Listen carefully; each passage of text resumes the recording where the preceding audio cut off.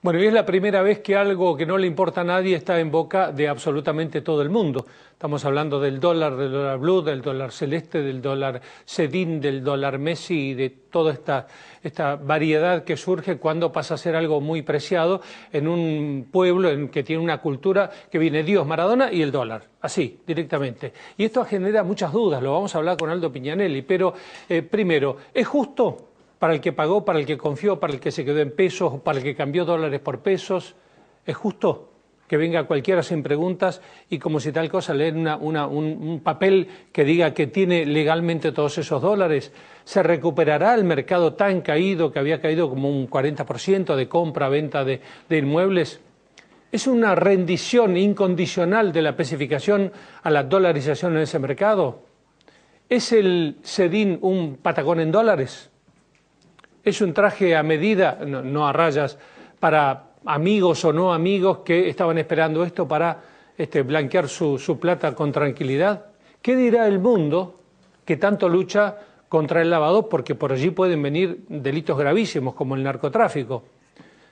Y el que, el que más uno ha escuchado, ¿cuántas trabas van a poner cuando vaya el señor que vendió el departamento a querer volver eso a dólares? ¿Cuánto papel van a exigir? Porque no creo que el gobierno tan livianamente, tan alegremente quiera desprenderse del dólar que recibió hace una semana. Para la oposición son cuasi monedas, esto va a tener un éxito muy relativo. Para el oficialismo es una genialidad, un círculo virtuoso para plata que estaba sin rendir nada bajo el colchón. Para los economistas críticos dicen que la devaluación es una cuestión de tiempo. Para la presidenta no va a haber ninguna devaluación o habrá que esperar otro gobierno es demasiada la brecha entre un enunciado y otro para el tipo que tiene un puñado de dólares, porque a ese va, dirigido todo esto también. Em, demasiada brecha.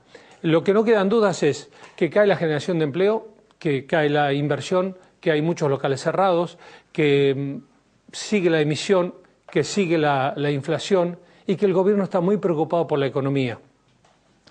Y la Argentina una y otra vez vivimos la historia la economía empieza a florecer, se sacamos la cabeza del agua, estamos muy bien, comienzan las turbulencias, nos recordamos al dólar, vamos todos corriendo al dólar y muchas veces con final traumático para el que, siempre para el que menos tiene, porque dicen, por ejemplo, que este cepo a quien más benefició es al que más tiene, que nunca en términos relativos estuvo más barato el Rolex o el Mercedes o el Audi en la Argentina.